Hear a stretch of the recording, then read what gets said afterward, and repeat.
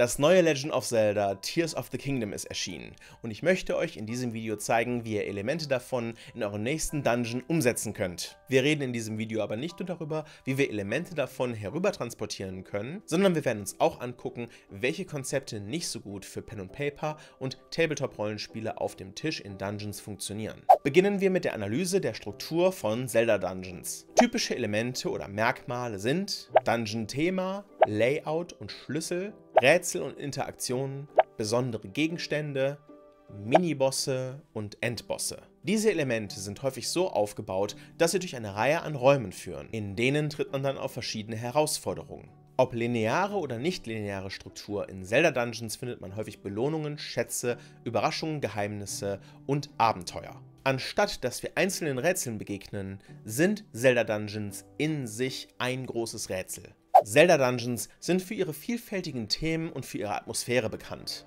Der Waldtempel und der Geistertempel aus Ocarina of Time sind hier meiner Meinung nach die ikonischsten und bedeutendsten Beispiele dafür.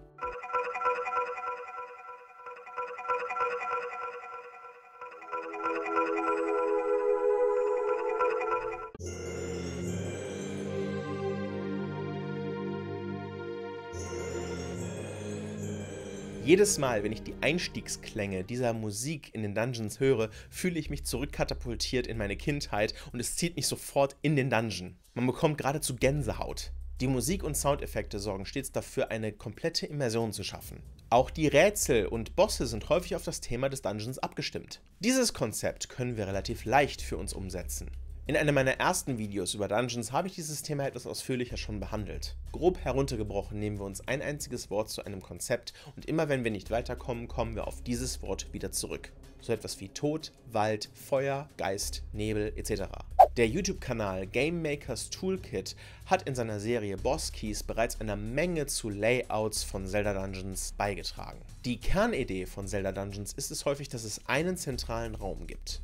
Diesen kann man dann durch das Lösen von verschiedenen Rätseln in verschiedenen weiteren Räumen immer weiter freischalten. Entweder muss man eine große Tür mit einem Mechanismus öffnen, oder man muss den Weg zum Endgegner herstellen oder einen besonderen Gegenstand anwenden. Meistens gibt es in diesem zentralen Raum eine Mechanik, die man zu Beginn noch nicht verwenden kann, die aber im Laufe des Dungeons essentiell wird und die man nacheinander bearbeiten kann. Das erzeugt wiederum das Gefühl, irgendwie voranzukommen. Außerdem baut es Spannung auf, weil wir mit jedem Fortschritt unserem Ziel näher kommen und wissen wollen, was hinter der finalen Tür eigentlich sich befindet. Gleichzeitig schaffen diese Layouts aber ein Gefühl von Offenheit und Exploration. Es gibt so gesehen also auch kein Railroading, trotz der Schlüssel, die hin und wieder uns dazu zwingen, einige Räume in einer Reihenfolge abzuarbeiten. Aber was für das Videospiel gut funktioniert, muss nicht unbedingt gut für unsere Spieltische sein. Der Gruppe zum Beispiel immer wieder das Gefühl zu geben, in einem Raum nicht weiterkommen zu können, kann sehr ermüdend sein. Gleiches gilt für die Wahrnehmung, irgendwo falsch abgebogen zu sein oder erst einen anderen Raum machen zu müssen, bevor man einen anderen Raum betreten kann.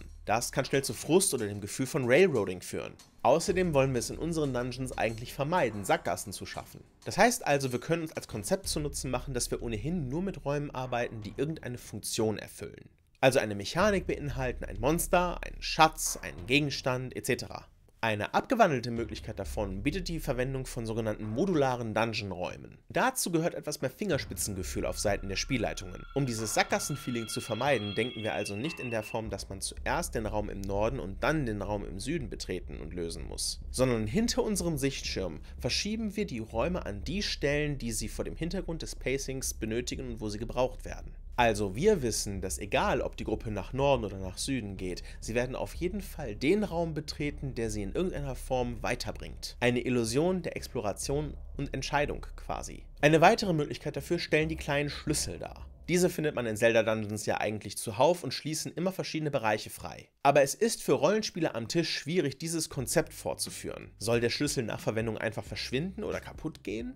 Sie sollen gleichzeitig allgemein genug gestaltet sein, um jeden Raum hier in diesem Dungeon zu öffnen, aber spezifisch genug, um nur die Räume in diesem Dungeon öffnen zu können? Das Konzept des Schlüssels kann auch einfach nur metaphorisch gemeint sein. Vielleicht braucht man auch nur ein Wort, die Betätigung einer Mechanik, eines Hebels einen anderen Gegenstand, einen speziellen Zauber auf einer Schriftrolle, eine Person, um weiterzukommen. Vielleicht findet man Schmuckstücke, farblich markierte Edelsteine, die irgendwo eingesetzt werden können. Vielleicht findet man Statuen, die dann lebendig werden. Es könnte spezielle Münzen geben, die in bestimmte Vorrichtungen passen. Flaschen oder Tränke, die man in Gang setzen muss oder auffangen muss. Überhaupt kann man mit Flüssigkeiten arbeiten. Vielleicht muss man eine Art Wächter besiegen als Zugang zu einem bestimmten anderen Raum. Denkt auch an Zufallsbegegnungen. Zelda-Dungeons sind voller Interaktion und Rätsel. Am deutlichsten haben uns das die Schreine aus Breath of the Wild gezeigt. Aber Blöcke schieben oder heben, Einzelteile zusammensuchen und sie dann in eine Tür einsetzen, Räume hinter Schlösser verstecken oder andere klassische Zelda-Rätsel lassen sich nicht so gut auf den Tisch übersetzen. Glaubt mir, ich habe es schon gemacht. Wer kennt es denn nicht? Die Gruppe akzeptiert zum Beispiel nicht, dass ein bestimmter Weg versperrt ist oder dass sie nicht weiterkommen. Anstatt also nach der Lösung des Raumes zu suchen, was wir uns ausgedacht haben, versuchen sie es mit anderen Mitteln. Sie fliegen über Flüsse und Abgründe, teleportieren sich und lassen eine Leiter oder ein Seil herab für ihre Gruppenmitglieder. Sie brennen Holztüren ab oder schlagen sie mit Äxten ein. Oder sie sprengen versperrte Wege einfach auf andere Art und Weise in die Luft, anstatt den Schlüssel zu suchen oder die Lösung zu finden. Schwierig können weiterhin bestimmte Rätsel sein, bei denen es darauf ankommt, mit verschiedenen Ebenen zu arbeiten und zum Beispiel eine Kugel oder so von einer Ebene in die darunterliegende Ebene zu bringen. 2D-Karten am Tisch und Imagination ist unter Umständen nicht gut genug dafür, das zu repräsentieren. Man hat ja häufig schon Probleme damit, die Dungeon-Karte anzufertigen. Ich habe dazu bereits ein Video gemacht. Außerdem könnte es schwierig sein, den Spielfluss aufrechtzuerhalten, wenn die Gruppe die ganze Zeit an einem Rätsel hockt. Dennoch können wir Rätsel aus Zelda nehmen und sie für unsere Dungeons benutzen. Erstmal natürlich in Form von Inspiration. Außerdem können wir es versuchen anzupassen. Ich hatte vorhin ja schon gesagt, dass der Dungeon selbst das Rätsel ist. In der simpelsten Form bedeutet das zum Beispiel, dass eine Hebelmechanik in dem einen Raum umgelegt wird, um dort weiterzukommen. Ein Aufzug wird aktiviert, ein Fluss wird umgeleitet. Dadurch wird vielleicht eine weitere Mechanik ausgelöst. Wie wär's denn mit einem Dungeon, der die Gruppe zwischenzeitlich durch die Zeit befördert? Dort könnten sie die Lösung für ein Zwischenrätsel finden. Oder ein Raum ist als schattenreich getarnt und die Verwendung eines Edelsteins sorgt dafür, dass man in die Gegenwart kommt. Was ist mit antimagischen Feldern, die ausgeschaltet werden müssen? Oder Glyphen? Was eventuell noch besser funktionieren könnte, sind Räume, die mit Elementen arbeiten, wo es also zum Beispiel sehr, sehr heiß oder sehr, sehr kalt ist. Man könnte auch mit Gift arbeiten. Das heißt, die Gruppe braucht zum Beispiel ein spezielles Equipment, um hier weiterzukommen. Einen Zauber könnte es auch tun, den man in einem anderen Raum findet. Wir können auch vor dem eigentlichen Dungeon Hinweise streuen, dass die Dungeons, die die Gruppe betreten wird, anders funktionieren. Eventuell steckt ein besonderer Architekt dahinter, sodass die Gruppe bereits erwartet, auf bestimmte Rätsel zu treffen. Vielleicht findet die Gruppe auch ein Handout oder eine Karte, wo darauf hingewiesen wird oder wo eine Lösung vielleicht schon mal angedeutet wird. Magische Gegenstände sind ein wichtiges Element in Zelda Dungeons. Meistens sind sie im Dungeon etwas Besonderes, aber auch häufiger mal sind sie außerhalb des Dungeons nutzlos. Ein Gegenbeispiel dafür ist der Enterhaken. Mit dem kommt man auch außerhalb des Wassertempels an unerreichbare Stellen.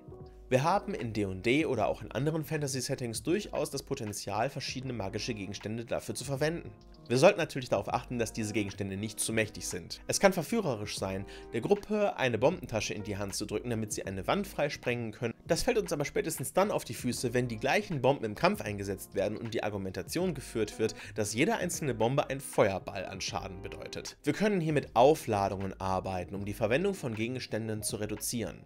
Innerhalb des Dungeons funktioniert das Aufladen beispielsweise automatisch, aber außerhalb eben nicht. Das heißt, die Gruppe oder die Person, die den Gegenstand führt, muss immer zu diesem Dungeon zurückkommen, um hier den Gegenstand aufzuladen. Ein Beispiel wäre ein Handschuh, der magische Türen öffnet oder Steine bewegen kann. Vielleicht funktioniert ein Gegenstand außerhalb des Dungeons auch nur abgeschwächt. Man könnte auch mit verfluchten Gegenständen arbeiten, die ihre Persönlichkeit erst dann entfalten, wenn sie aus einem entsprechenden Dungeon herausgetragen werden. Manchmal ist auch der Endboss durch einen bestimmten magischen Gegenstand besonders verwundbar. Das ist gar nicht so schwer anzupassen. Diese Gegenstände findet man häufig als Belohnung nach einem Miniboss und nicht selten sind sie auch essentiell für das Besiegen des Endbosses. Wir können unsere Bosse am Tisch an einer Stelle besonders verwundbar gegenüber dem Gegenstand gestalten oder innerhalb der Bosskammer muss mit dem Gegenstand interagiert werden. Vielleicht ist der Bossraum selbst ein Rätsel und der Gegenstand der gesuchte Schlüssel. Wir können auch andere Aspekte aus Zelda Dungeons übernehmen, zum Beispiel verschiedene Phasen innerhalb des Kampfes oder die thematische Verbindung zum Dungeon. Dieses Thema ist für sich so umfangreich, dass ich bereits ein eigenes Video zum Thema Bosskämpfe erstellt habe. Das zieht in vielen Teilen schon Inspiration aus Zelda. Zuletzt möchte ich noch einen weiteren Aspekt ansprechen, nämlich die Anwendung von Horrorelementen in Zelda Dungeons. Obwohl die Zelda-Reihe allgemein als familienfreundlich gilt, wissen wir alle, dass es hier und da mal ganze Räume, Dungeons oder auch ganze Spiele gegeben hat, die davon ein bisschen abgewandelt waren. Looking at you, Majora's Mask. In Zelda Dungeons gibt es zum Beispiel oft düstere oder merkwürdige Hintergrundgeschichten. Diese können sehr sehr leicht unserer Spielgruppe ein Gefühl von Unbehagen vermitteln. In den Abenteuern könnten wir diese Geschichten einbauen, indem man bestimmte Handouts findet oder die Hinterlassenschaften von Leuten, die vorher die Dungeons bewohnt haben. In manchen Zelda-Spielen treten auch unheimliche oder gespenstische Nichtspielercharaktere auf. Die Adaption solcher Nichtspielercharaktere kann auch hier innerhalb von Dungeons Dragons oder in den Dungeons selbst dazu beitragen, Unbehagen zu erzeugen. Dungeons wie der Schattentempel aus Ocarina of Time haben sehr düstere und dichtere Atmosphären. Wir können also die Umgebung benutzen, um das Gefühl von Isolation und Angst voranzutreiben. Vielleicht ist die Gruppe auch unter der Erde gefangen und hat nur eine begrenzte Zeit, hier wieder herauszukommen. Vielleicht werden sie auch von einem Monster gejagt, was sie nicht sehen können oder nicht bekämpfen können. Ein magischer Gegenstand, den sie erst innerhalb des Dungeons finden, könnte sie dazu bringen, hier wieder herauszukommen und das Monster zu besiegen. Manchmal sind auch Rätsel oder Fallen in Zelda Dungeons damit bestückt. Zum Beispiel können unsere Spielgruppen nur dann ein bestimmtes Rätsel lösen, wenn sie mit untoten Nichtspielercharakteren interagieren. Oder sie aktivieren eine Falle, die von den Schreien der Verstorbenen ausgelöst wird. Gerade der Gedanke, mit dem Bewusstsein eines uralten Geistes zu kommunizieren, um ein Zwischenrätsel zu lösen, kann sehr viel Unbehagen erzeugen. Zelda Dungeons sind also eine großartige Inspirationsquelle für unsere Spiele am Tisch. Wir können verschiedene Atmosphären, Elemente und Aspekte benutzen, um unser Spiel am Tisch zu bereichern. Habt ihr noch weitere Ideen für die Adaption von Zelda Dungeons, für Dungeons Dragons oder für andere Tabletop-Rollenspielsysteme im Fantasy-Setting? Vielleicht auch für andere Settings? Dann schreibt's mir doch in die Kommentare. Und wenn ihr wissen wollt, wie man anhand eines Dungeon-Themas ein Zelda-Dungeon gestalten kann, habe ich hier ein weiteres Video für euch. Das war's von mir und ich sage Tschüss und bis zum nächsten Mal.